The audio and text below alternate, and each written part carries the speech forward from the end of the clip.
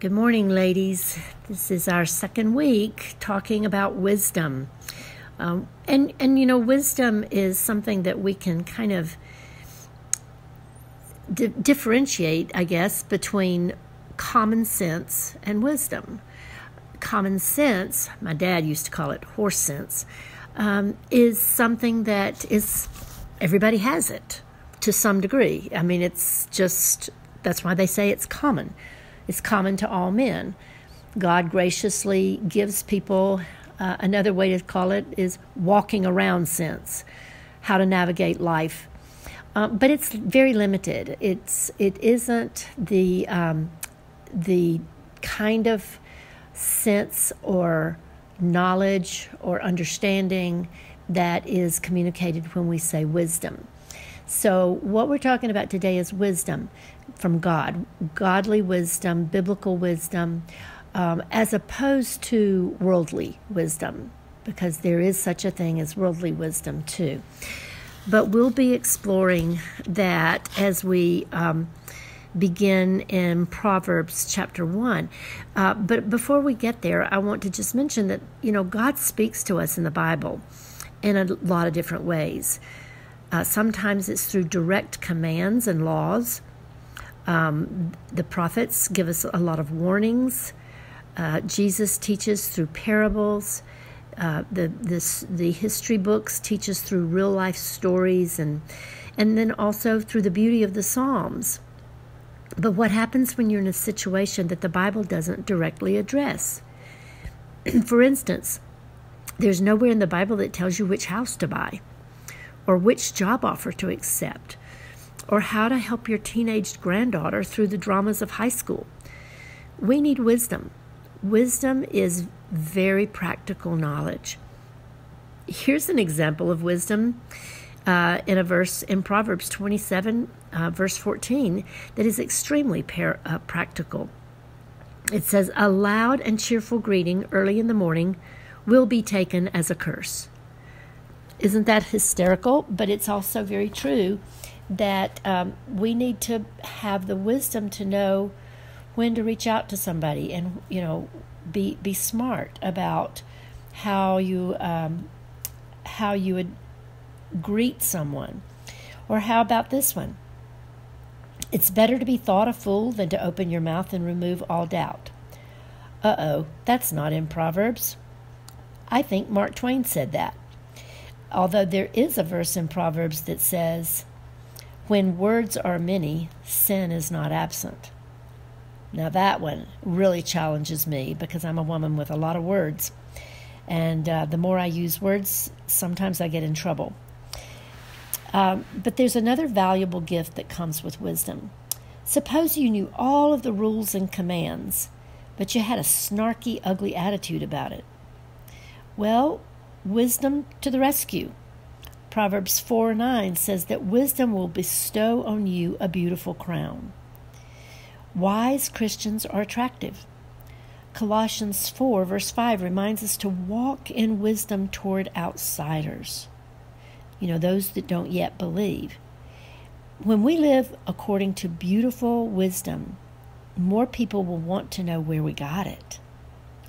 But let's not think of the Proverbs as quick fixes or, uh, or to make it fit every situation. It's more about the long view.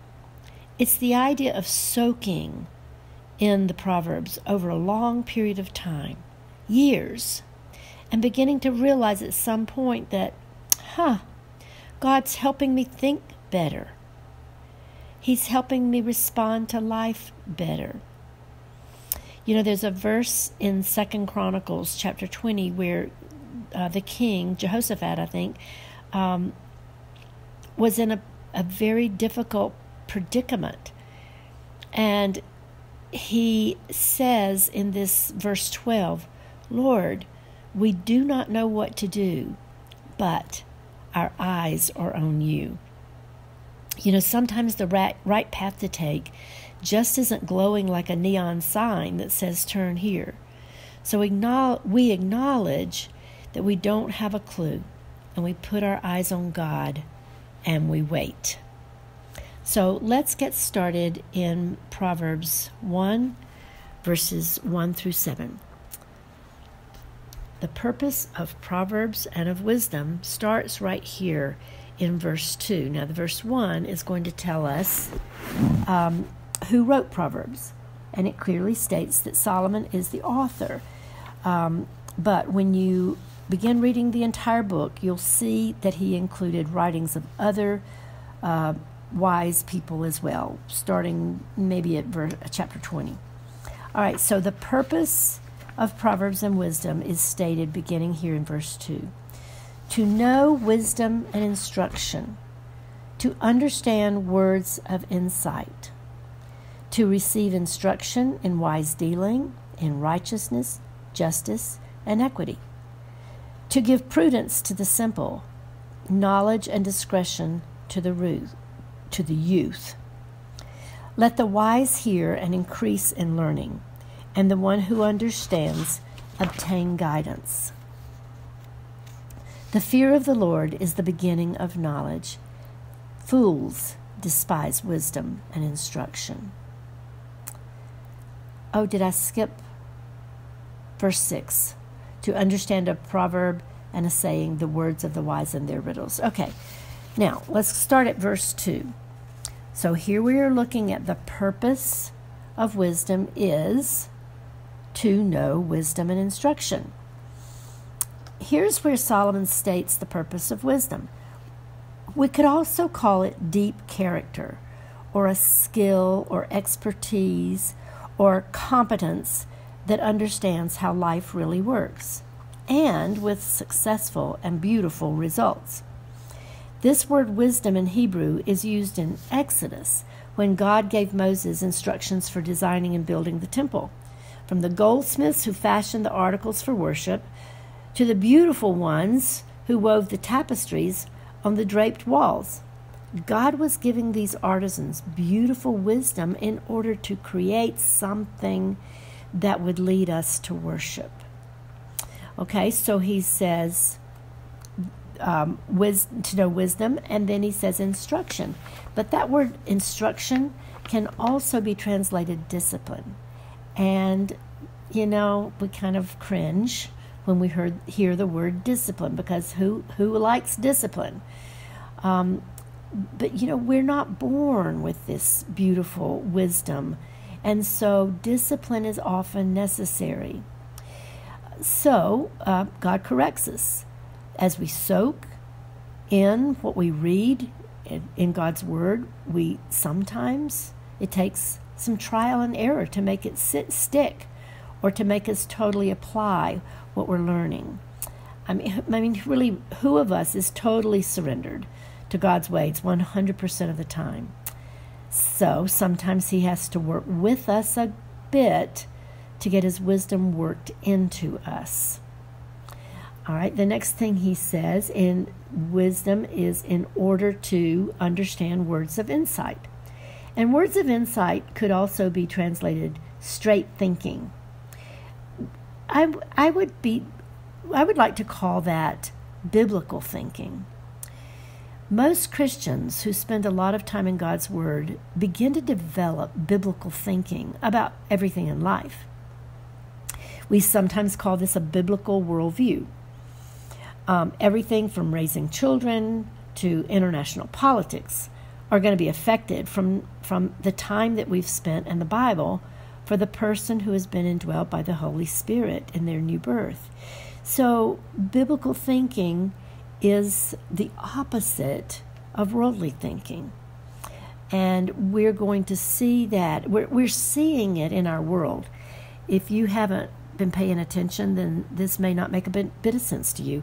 But as as I watch the culture drifting, I mean, like a hard direction towards worldly values, a hard shift towards um, a, a, very carnal and um, self oriented direction. That is the opposite of biblical thinking.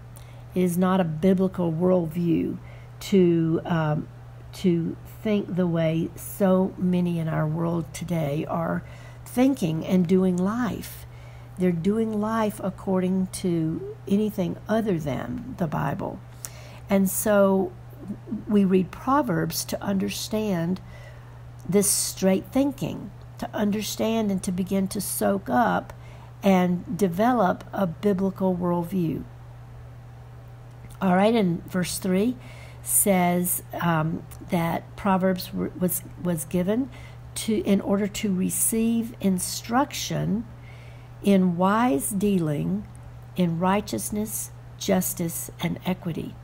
Now, we could go spend a lot of time talking about these particular things um, like righteousness, justice, and equity, but I want to point out where he says at the beginning to receive instruction. Receiving instruction is tough. Um, another way to look at it is to say being teachable. But uh, receiving requires meekness, it requires humility, doesn't it? It requires that we're not like a know it all and think that there's nothing else that you can teach me.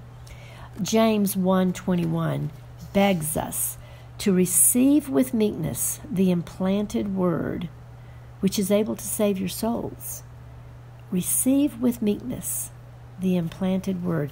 God is planting his word in our hearts. Will we receive it and accept it as being his very words, the voice of God, and allow it to save our souls? That is an important, really, really important thing for all of us to kind of noodle on? Or am I teachable? Am I willing to receive? Am I receiving God's word with meekness? Another purpose here explained in verse 4 is in order to receive prudence to the simple, knowledge and discretion to the youth. Um, as we think about the book of Proverbs and the wisdom that it provides, it's telling us it will give us prudence, or it'll give the simple or the, the uneducated in the in the ways of God. It'll give them prudence. Now, prudence is a really old-fashioned word. Um, prudence could maybe be thought of as skill or even savvy, um, even just really uh, an ability to look at a situation and navigate it in a way that is street smart.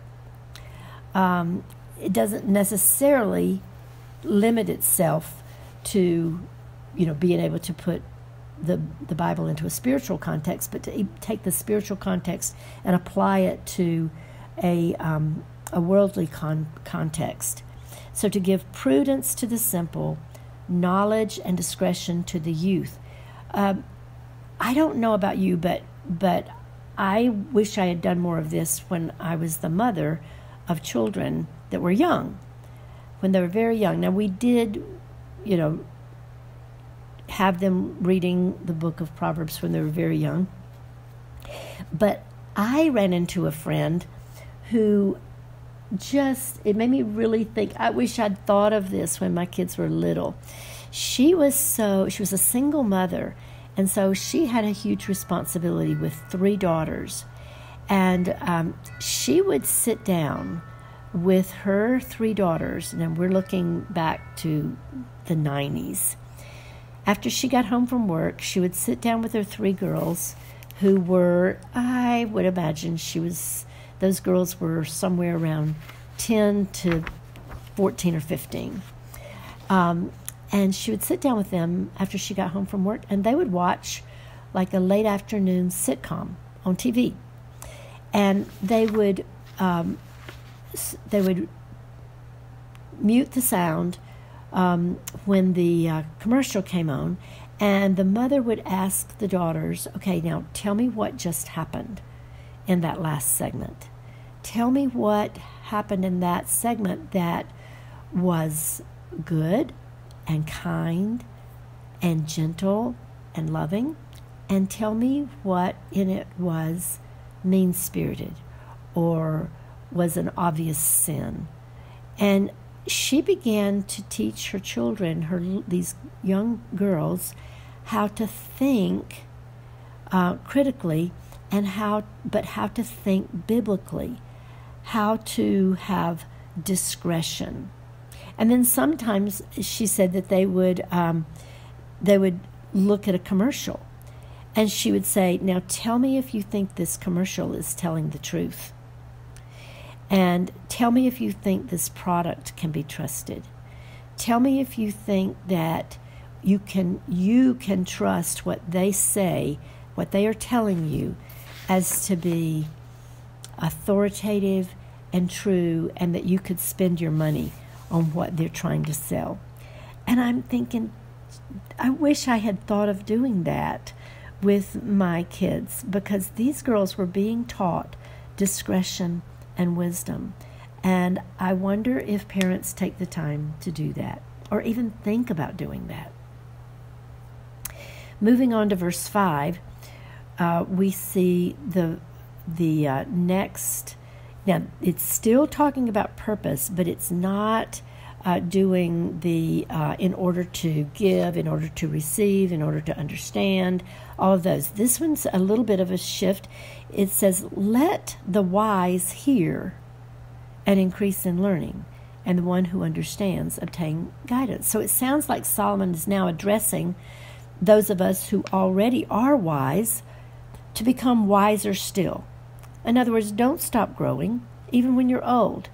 Don't think you've learned it all and couldn't still grow in wisdom and knowledge and a, maybe even be willing to learn a new skill. I know this is difficult for me. At my age, I'm, I'm getting to be the, um, a little resistant to learning something new on the computer. Re- this last week, there was a um, we, got a um, an email from the organization we work for, Cru, um, asking us to download this app on our computer that will help us navigate the, the website, uh, the Cru website, better for those of us who are staff members.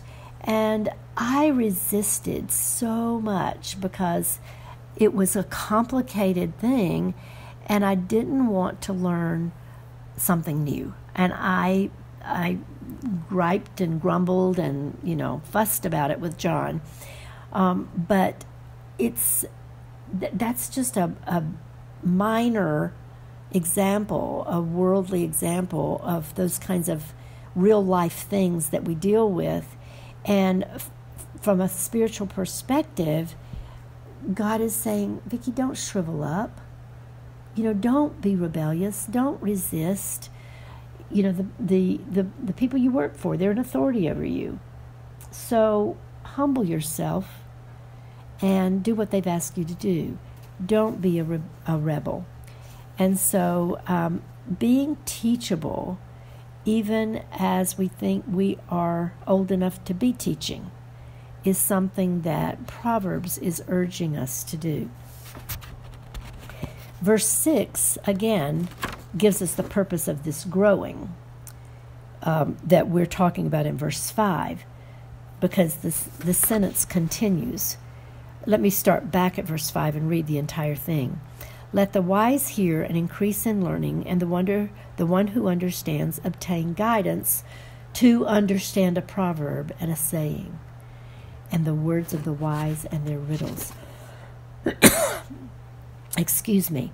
So the the purpose of me continuing to grow in wisdom is in order that I would be able to understand these proverbs in the Bible and the sayings and the riddles and the things that I need to read and study in order to write a lesson. And so I thought, well, wonder what it would be like to be a fly on the wall in a gathering of really wise and godly women, men and women of the past. You know, I, I think of Elisabeth Elliot or Amy Carmichael or C.S. Lewis, and I'm not going back very far when I mention these names, but these are people that had a lot to say about wise living. And, you know, sometimes they'll say something, especially C.S. Lewis, will will say something in a book, and I'm like, I don't get that. That uh, um, that's hard. And the thing about being teachable is that I am now more and more willing to sit in that teaching and just noodle on it. Just ask God, okay, expand my comprehension. Give me spiritual insight into what this man is saying. Or or to something that Elisabeth Elliot wrote, you know, 40, 50 years ago that I need to apply that in my life. Help me to have that kind of insight uh, that she is trying to share with me. You know, and I, as I prepare lessons each week, I do a lot of reading uh, of people like that, and also even older things, two, three, four hundred year old commentaries. And it's so difficult for my brain to comprehend what they're saying because honestly, I think our brains have shriveled, not because of age. I think it has nothing to do with age. I think our brains have shriveled because of these screens. Everything from the one we hold in our hand and the one that sits on our desk and the one that's in our car, da- the dashboard of our car we have screens in front of our faces all the time. And so we've become kind of dumb, dumbed down by being in front of screens. And you would say, well, wait, that's where all the information is. Um, information, yes. Wisdom, no. An ability to think, no we can Google and get bites, sound bites, and bits of information at our fingertips, but do we know what to do with that information? Do we know how to process it? It just is, we're finding, and, and all the sociologists and all the um, scientific thinkers are discovering that our brains are not able to think like they used to. I even think about some stuff that um, I learned in high school and college that to, if I were to have to go read that again today, I'm not sure I would comprehend it as quickly as I did back then. And I'm not sure it's my age. I think it's probably um, something that could be blamed on the screens. And so, um, even vocabulary words that I once could read and understand, those words are not used anymore. So I have to stop and look up a word that I at one time knew what that meant.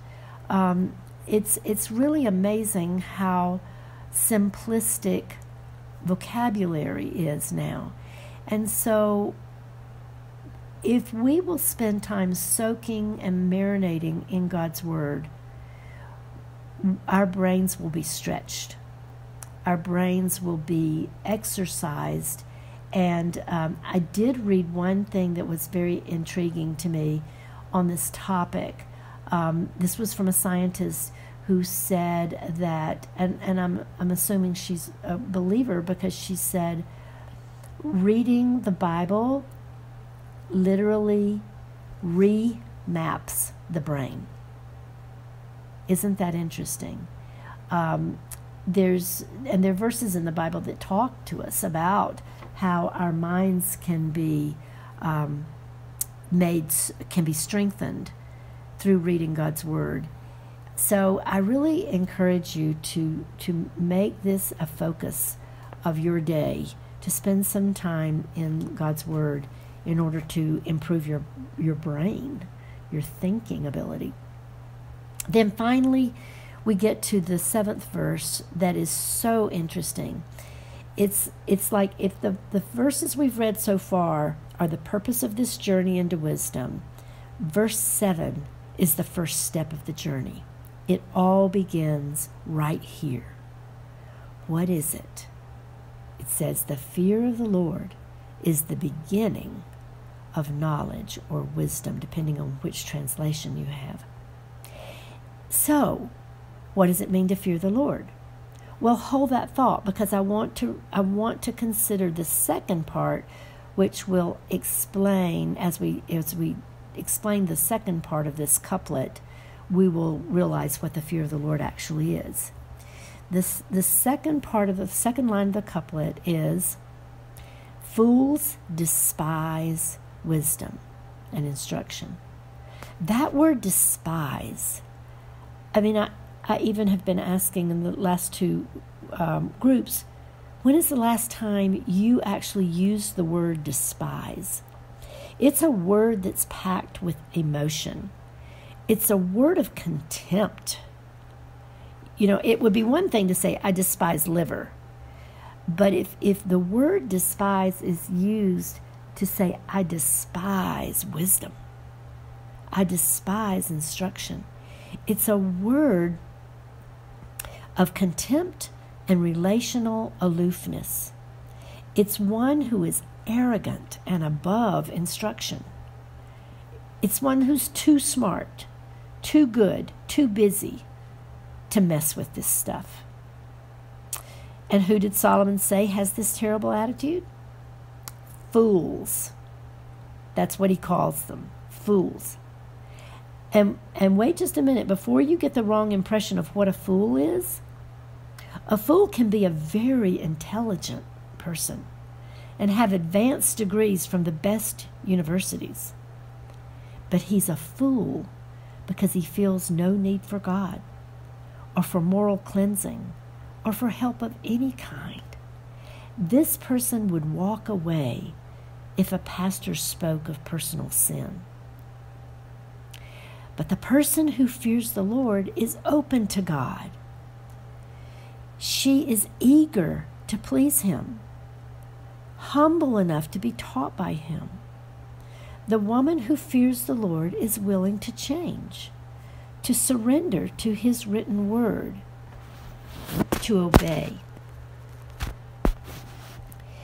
I love this quote from C.S. Lewis. It clearly contrasts the um, perspective of humility that comes from the fear of the Lord against the person, the perspective of the fool who has no desire for God or for wisdom.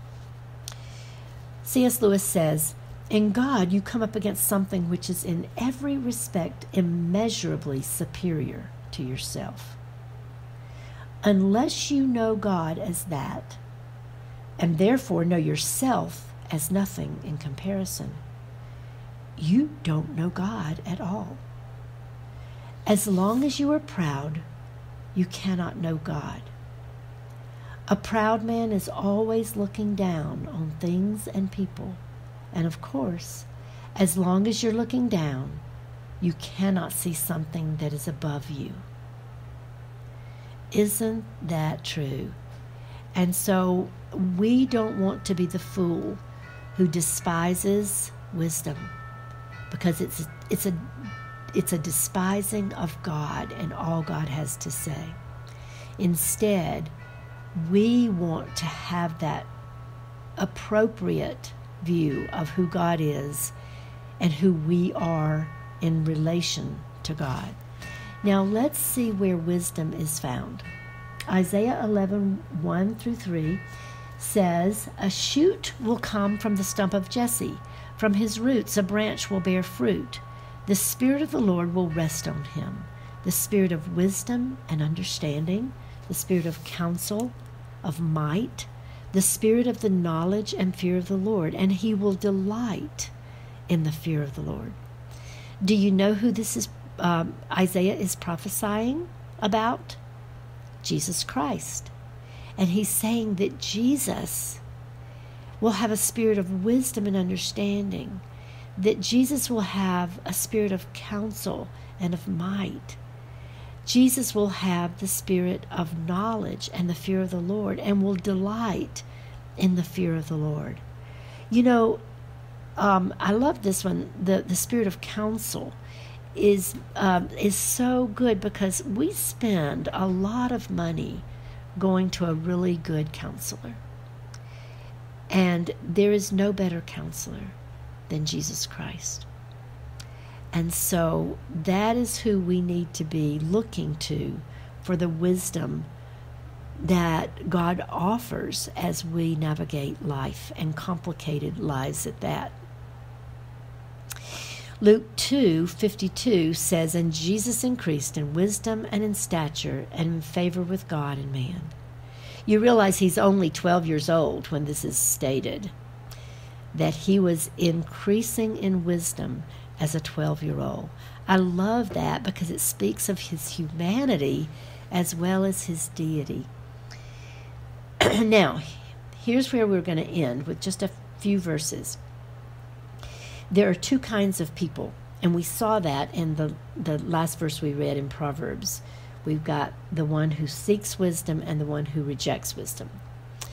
Um, so, Matthew 7 very clearly expresses those two kinds of people. This is the last uh, last little section of the Sermon on the Mount where Jesus has been teaching the people. And Jesus said, Everyone then who hears these words of mine and does them will be like a wise man who built his house on the rock. And the rain fell, and the floods came, and the winds blew and beat on that house, but it did not fall, because it had been founded on the rock. And then everyone who hears these words of mine and does not do them will be the foolish man who built his house on the sand. And the rain fell, and the floods came, and the winds blew and beat against that house, and it fell. And great was the fall of it. Uh, these, this is such a clear contrast of the wise person and the foolish person. It tells us Jesus says, the wise person is the one who hears these words of mine and obeys them. That is the foundation that causes the house to stand in the storms, in the hurricanes, in the floods, in the, the, the things that life throws at us. This house stands because the foundation of the house is built on a biblical worldview. That person has heard the words of Jesus and has obeyed the words of Jesus. By contrast, Jesus says the, the ones who don't obey those words, they hear them, but they don't obey them. They've heard and read the words of God, but they've rejected the words of God that person is a foolish, foolish person because they build their house, they're building their life on a foundation that is sinking sand and it will not survive. Mark 8:33 in closing says and this is speaking of Jesus and the disciples but Jesus turned looked at his disciples, and he re- rebuked Peter and said, Get behind me, Satan, for you are not setting your mind on the things of God, but on the things of man. Now, let me just back up to tell you what he's why he's so upset with Peter. Peter's had this wonderful revelation that Jesus is the Christ, the Son of the living God, and God Jesus says, "Way to go, Peter, but you didn't think that up on your own. The Holy Spirit revealed it to you. And then Peter, a little bit later, says, I know, I know, I know that you are going to become the king and that you are the Messiah and all of that. But do you really have to do a cross? I mean, really, isn't there another way? Can't we skip that part and go right into the kingdom part? where everything is wonderful and everything is restored. And I like that I like that end part. I just don't like what you're telling me that we've got to go through to get to that. Boy, Jesus turned on Peter, got right in his face, and said, Get behind me, Satan. Whoa, that is a harsh rebuke. Jesus goes on and he says, You're not setting your mind on the things of God, but on the things of man. In other words, you're a fool. You're thinking like a fool. You are not thinking biblically. You're not you're hearing what I'm saying, but you're rejecting it. You don't like it. You're looking for a a, a better alternative. And there is no other route to eternal life but through the cross. We must go through the cross in order to have eternal life. And so the fool refuses to go that route. No, tell me another path. Uh, all roads lead to heaven, right? I'm going to choose a different path. I don't want the path of the cross. That person is a fool. That person thinks worldly thoughts, not biblical thoughts. Ladies, that's what we what I desire for each one of us is that we embrace the wisdom that God is offering us through his word. And by embrace, I mean take it to heart, obey it, value the words of God over the words of the culture, because the words of the culture are going to lie to you just as regularly as the commercials on the television. It will lie to you. Trust God and His Word. His ways are best. His ways lead to life, eternal life, forever and ever with God. Thanks for listening, girls.